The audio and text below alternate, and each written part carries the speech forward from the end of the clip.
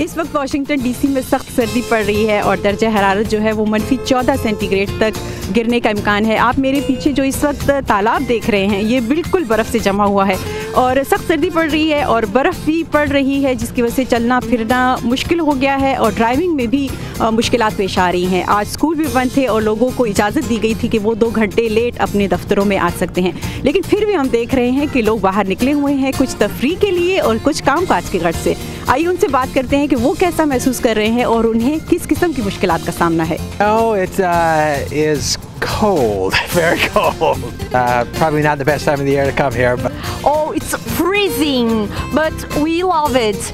Yeah, it's freezing. It's, it's pretty pretty horrible actually. Uh, trying to do as little walking as possible, but it's very cold. Not used to it. Uh, where we were from, it's a little drier down there. This cold weather yeah. is amazing. We are from Miami, Florida. Crazy, it's crazy. We're not used to, so we are suffering a lot. So windy. So, but I like it. I like it. It's so cold. So it's really cold. yeah. Very, very cold. So it's not our weather in, in Italy, so it's uh, really difficult. But और ये weekend मज़ीद सर्द होने वाला है। महकमे मौसमियात ने लोगों को हिदायत की हैं कि वो घरों के अंदर ही रहें, बाहर ना निकले, क्योंकि शदीद सर्दी की वजह से उन्हें हाइपोथर्मिया भी हो सकता है। और रिपोर्टों में ये भी बताया जा रहा है कि मुल्क के मशरकी और वस्ती इलाकों में आइंदा हफ़्ते ख़तरनाक तरीन हवाएँ चलेंगी। और, अब मैं भी अंदर चलती हूँ क्योंकि सख्त तरीन सर्दी है और मुझे यूँ लग रहा है कि मैं अभी फ्रीज़ हो जाऊँगी।